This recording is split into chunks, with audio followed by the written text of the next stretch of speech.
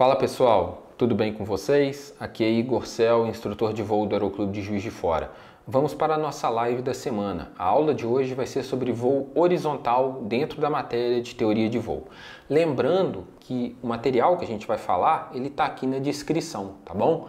É, você pode baixar ele para ir acompanhando as nossas aulas, que fica muito mais tranquila a assimilação. É um conceito que exige um pouquinho mais de atenção essa parte da matéria de teoria de voo, tá bom?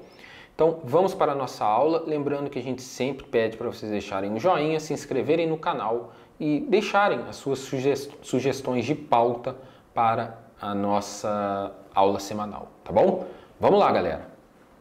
Então, pessoal, vamos lá para a nossa aula de hoje sobre voo horizontal. Se a gente pegar o conceito de voo horizontal é o seguinte, ó numa velocidade constante, se a gente pegar é, um exemplo, levar em consideração que a nossa aeronave, que a gente está é, supondo aqui para aula, ela está em velocidade constante, tá? a sustentação tem que ser igual ao peso e a tração tem que ser igual ao arrasto. Então, vamos olhar esse desenho. Para o voo ser horizontal em velocidade constante, essas quatro forças aqui têm que se anular. Essa de cima aqui, ó, lift, é a sustentação. Ela vai se opor ao peso, ó. Entendeu? O peso que a gravidade exerce sobre todos os corpos. A sustentação gerada pela nossa asa se opõe ao peso, tá?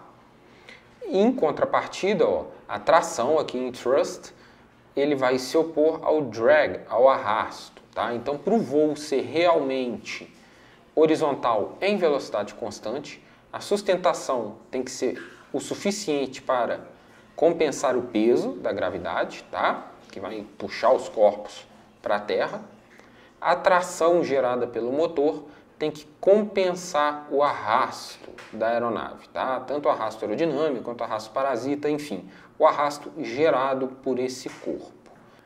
Então vamos lá, gente. A gente vai ver nas próximas aulas, essa aula vai ser sobre voo horizontal, que se a gente aumentar a sustentação, a gente consequentemente aumenta o arrasto. Não tem como a gente aumentar a sustentação e não aumentar o arrasto. Ele é um produto indesejável, tá? E tanto no voo ascendente quanto no voo descendente, essas quatro forças aqui, elas vão estar em desequilíbrio, tá? Uma vai estar predominante, uma ou mais, tá bom? Sobre a outra. Então vamos lá. É, à medida que a gente vai aumentando o ângulo de ataque da aeronave, vamos supor que a gente está no voo horizontal, tá bom? Então a gente está no voo horizontal, tranquilo, e a gente decide é, treinar um stall, treinar uma manobra de stall, que é uma manobra muito treinada tanto no curso de piloto privado quanto no curso de piloto comercial, tá bom? Como que se faz o stall, gente? Primeiro, a gente tem que raciocinar o seguinte: a aeronave ela não vai estolar por conta da velocidade. Tá? A gente é condicionado a monitorar o stall da aeronave através do velocímetro. Né? Existem as velocidades limitantes, entre elas a velocidade indicada de stall. Tá? Por que, que eu falei velocidade indicada? Porque é a velocidade do velocímetro. E a gente já viu em outras aulas que a velocidade do velocímetro nem sempre vai ser a correta. Ela é usada para pousos, decolagens, para é, parâmetros de extensão de flap, extensão de trem, abricou flap, enfim, velocidades de rotação para é, diferentes condições pesos da aeronave, enfim, ela não é uma velocidade que a gente pode usar, por exemplo, uma navegação, que a gente usa AVA, velocidade aerodinâmica, tá? Mas isso vai ficar para uma outra aula. Vamos supor que a gente está num voo horizontal e eu quero iniciar um stall. A aeronave, ela estola por ângulo, gente. Olha essa imagem aqui, ó. Você tem aqui um aviãozinho que estava voando reto, aí a gente decidiu aumentar o ângulo de ataque dele para a velocidade diminuir, tiramos o motor para a gente treinar um stall. Esse ângulo aqui, gente, é o ângulo de ataque da asa, tá bom? O que, que vai acontecer?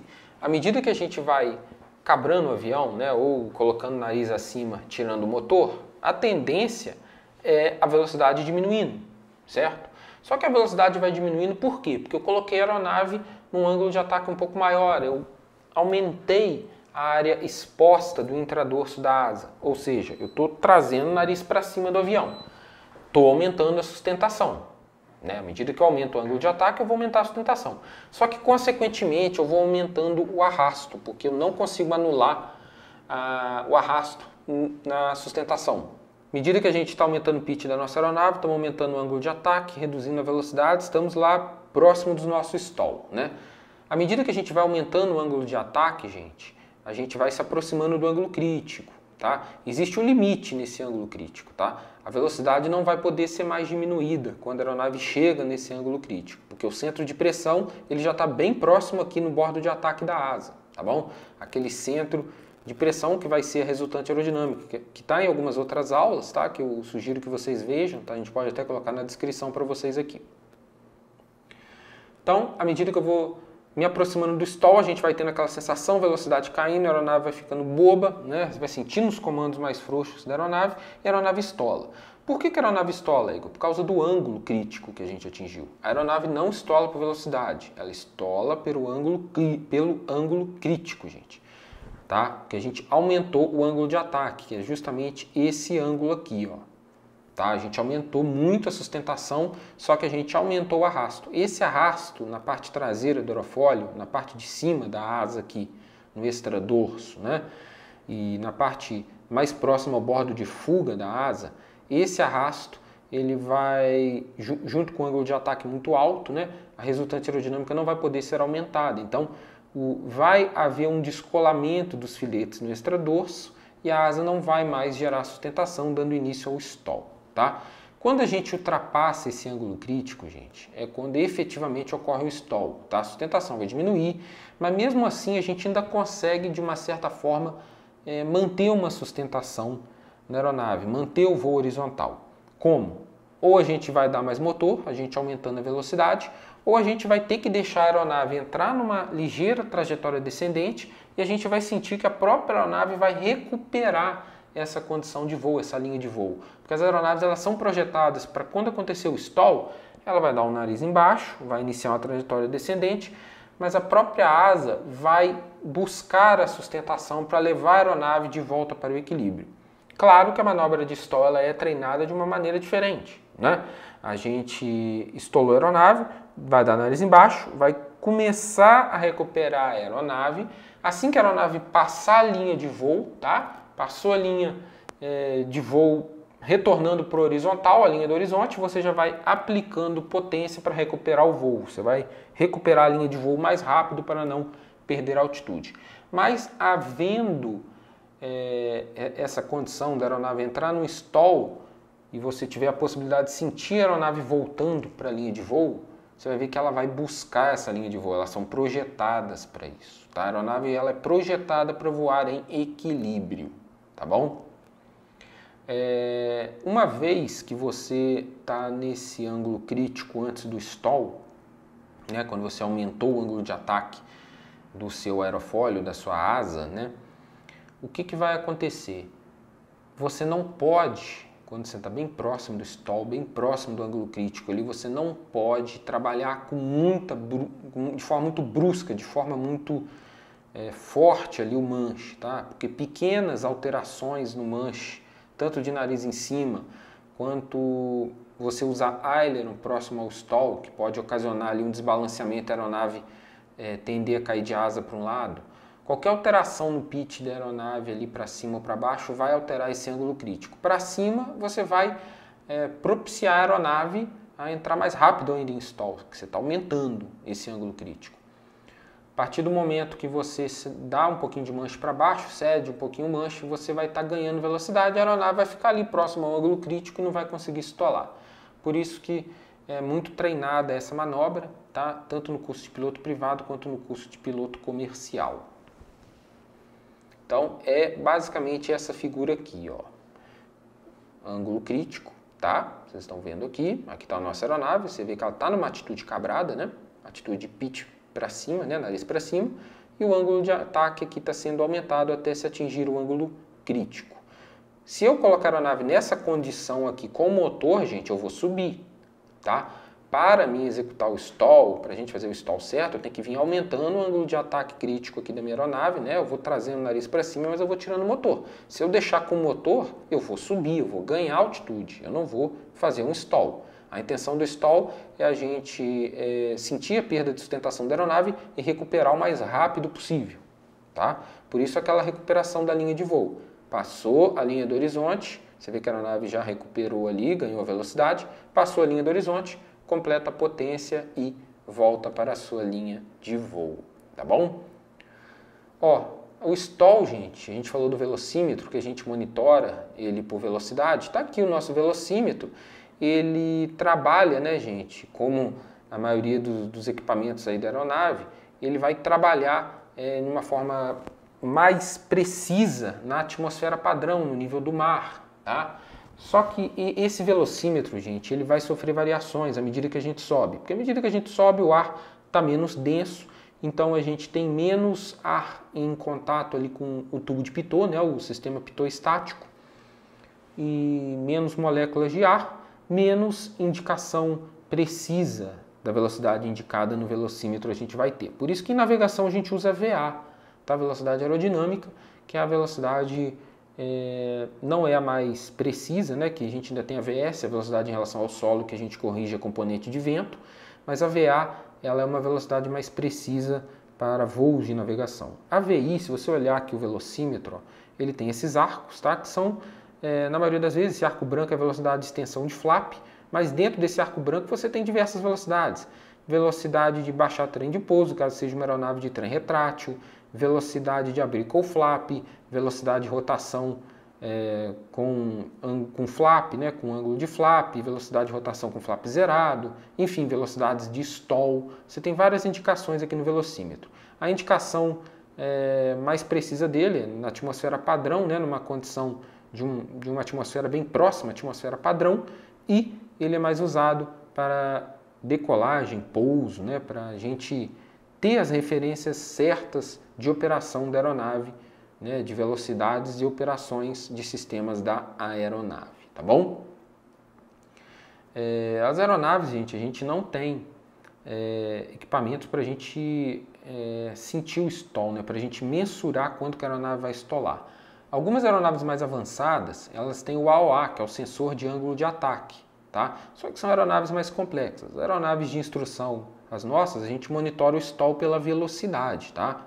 Então, sempre ficar atento. Claro que levando em consideração que à medida que a gente vai subindo, que a gente falou, o ar vai ficando mais rarefeito e o velocímetro não vai indicar de uma forma muito precisa a nossa velocidade, tá? Servindo apenas como uma referência de velocidades. A gente tem aqui um gráfico de potência necessária disponível. Olha só que coisa curiosa a potência necessária a potência que o avião necessita para manter o voo nivelado. Então é aquilo que eu preciso, é o keep the basic, né, pra, o básico para o meu voo nivelado. Nesse gráfico, para me manter o voo nivelado, nessa condição aqui a gente tem dois eixos, x e y, né? esse eixo horizontal de velocidade, esse eixo vertical de potência. Para mim manter um voo nivelado com 100 milhas, ó, eu tenho que manter 100 HP de potência ali no meu motor, né? dosar, dosar minha potência aqui para chegar a 100 HP no meu motor, para manter um voo nivelado nessa velocidade. Olha a curva de potência. Se eu quiser aumentar minha velocidade, eu tenho que aumentar a minha potência. Para mim atingir 200 milhas, eu tenho que mais ou menos manter aqui uns 180, 200 HP de potência. Para mim atingir 400 milhas, exemplo, ó, eu tenho que manter quase aí uns 600 HP de potência, tá? Eu tenho que aumentar a rotação do meu motor para ele gerar mais potência. Só que olha que curioso, ao contrário também, ó, se eu for reduzir a velocidade, eu tenho que aumentar a potência do motor. Ora, Igor, isso aí é contraintuitivo, porque se eu for diminuir a velocidade, eu não tenho que aumentar a potência. Gente, para você fazer um voo reduzido, você tem que aumentar os ângulos de ataque da aeronave. Para você aumentar os ângulos de ataque, você aumenta o arrasto. Para você aumentar o arrasto, para você contrabalançar isso, vamos melhor dizer, né, para você balancear isso, você precisa aumentar a potência, porque o seu arrasto vai aumentar com um ângulo de ataque maior. Então, olha só, velocidades menores, ângulos de ataques maiores, potência mais elevada.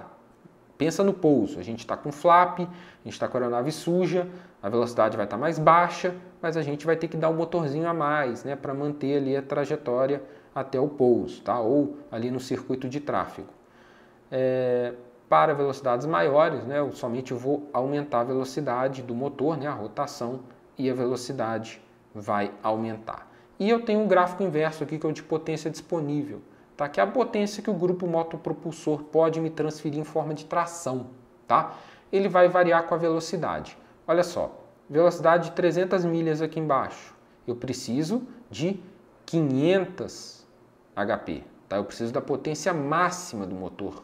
Então, em nível de voo X, tá? não vou colocar aqui um nível de voo, tá? aqui é um avião hipotético. Para mim manter essa velocidade de 300 milhas, eu preciso de 500 HP, que o motor esteja desenvolvendo potência máxima. Se eu quiser menos velocidade, ó, olha só como é que cai a curva. Menos potência, é proporcional. Só que olha que curioso. Se eu quiser aumentar essa velocidade, eu vou ter que usar menos potência também. Ué, Igor, como é que você vai usar menos potência para aumentar a velocidade? Gente, a velocidade máxima em um, um nível X, né, um nível de voo X, que a aeronave atinge é 300 milhas por hora, tá? mantendo 500 HP. Se eu quiser, nesse mesmo nível de voo, aumentar a minha velocidade, o que, que eu vou fazer? Eu vou ter que dar um nariz um pouquinho para baixo. Tá? Vou ter que diminuir um pouquinho esse ângulo de ataque dessa aeronave. E, consequentemente, para mim não exceder os limites de velocidade da aeronave, tá? eu vou ter que reduzir um pouquinho a potência do meu motor. Porque o máximo nesse nível de voo que eu posso atingir é esse 300 milhas com 500 HP. Tá? Isso é só uma referência, uma hipótese, tá, gente? É uma teoria, né? Como a gente está falando teoria de voo, é a teoria em si, tá? E aqui a gente linka os dois gráficos, ó. Potência disponível necessária e a gente acha as velocidades do avião. Olha só, gente. Potência necessária alta, potência disponível mais baixa. Temos a velocidade máxima, ou seja, eu estou usando a reserva que eu tenho máxima para mim é, tirar o máximo de performance da minha aeronave, a velocidade máxima com determinado nível de voo. Velocidade de máximo alcance, a minha potência necessária vai ser menor e a disponível também vai ser um pouquinho maior, mas não tanto também. Tá? A gente já vai estar tá aplicando um pouco de potência. Essa velocidade, gente, para mim ter o máximo de alcance, o máximo de distância eu vou conseguir percorrer com essa aeronave, tá? A velocidade de máxima autonomia, ela é uma velocidade que eu vou permanecer o máximo de tempo possível em voo, tá? Alcance, gente, linka com distância, tá? Faz esse link aí com distância. Autonomia, gente, é tempo, é o máximo de tempo que eu vou conseguir permanecer em voo. Então, para mim permanecer o máximo de tempo em voo, você concorda comigo que eu não preciso estar com um regime de potência muito alto, nem com uma velocidade muito alta? Eu quero é permanecer em voo. Então, ó, a minha potência necessária e disponível vão ser inversamente proporcional. Estou usando menos potência necessária e a potência disponível vai ser. É, vou, vou ter mais potência disponível, porque eu estou usando um regime muito pequeno de motor. Velocidade mínima é aquela que eu vou ter o um mínimo controle da aeronave. Tá? Velocidade mínima para mim permanecer em voo. Então, potência disponível vai ser altíssima, que eu vou ter o um motor inteiro para trabalhar ainda pela frente, e a necessária vai ser muito pequena, porque eu estou usando o mínimo ali para manter o voo horizontal. Tá? E a velocidade stall é aquela que a gente já viu, que é a velocidade ali quando você ultrapassa o ângulo crítico. Então, nessa condição, você está com o ângulo de ataque elevado, com pitch elevado e com a potência toda mínima. Então, Potência necessária. Você vai praticar uma manobra de stall, você não precisa de potência. Potência disponível, toda a curva de potência disponível, porque você não está usando o motor. E ó, eu deixei aqui por último essa curiosidade. O arrasto não varia com a altitude no voo horizontal. Essa afirmação, gente, pode parecer um pouco contraditória, porque à medida que eu vou subindo, o ar vai ficando rarefeito. Você concorda comigo? A altitude, o ar vai ficando rarefeito, vai ficando menos denso. Mas se a gente linkar é, um pouco de outras aulas de teoria, com outros conceitos aí de teoria e de meteorologia, a gente vai ver que não tem contradição. Numa altitude maior, olha só, a densidade é de fato menor. O ar vai subindo, vamos ter menos moléculas no ar, vai ficando mais rarefeito. E, e a gente até já viu que o velocímetro sofre com isso, né? Não só o velocímetro, como todos os instrumentos que servem é, e que usam da pressão é, estática da pressão dinâmica, né, dos equipamentos que precisam ali do, do sistema pitoestático, que são alimentados por ele, velocímetro, altímetro e climb. Eles sofrem essas defasagens, tá? Numa altitude maior, a densidade é menor. Porém, devemos lembrar que a sustentação também vai ser menor. Uai, então eu estou subindo, a densidade está ficando menor, o arrasto vai ser menor, claro. Mas se o arrasto é menor, a sustentação também é menor, porque eu não consigo desvincular o arrasto da sustentação. Lembram-se disso? Então, é, vai meio que se reequilibrar ali a condição, ou é, esse, essa resultante entre o arrasto e a sustentação. Elas vão se readequando ao nível de voo aí, tá? Elas vão diminuindo tanto o arrasto quanto a sustentação, tá? Isso vai fazer com que a asa gere menos sustentação, é, vai gerar menos arrasto também, só que a aeronave vai estar numa condição um pouco mais limítrofe à medida que você vai subindo, tá? Levando em consideração que cada aeronave tem ali o seu teto prático o seu teto operacional. Isso vai depender de aeronave para aeronave, tá bom?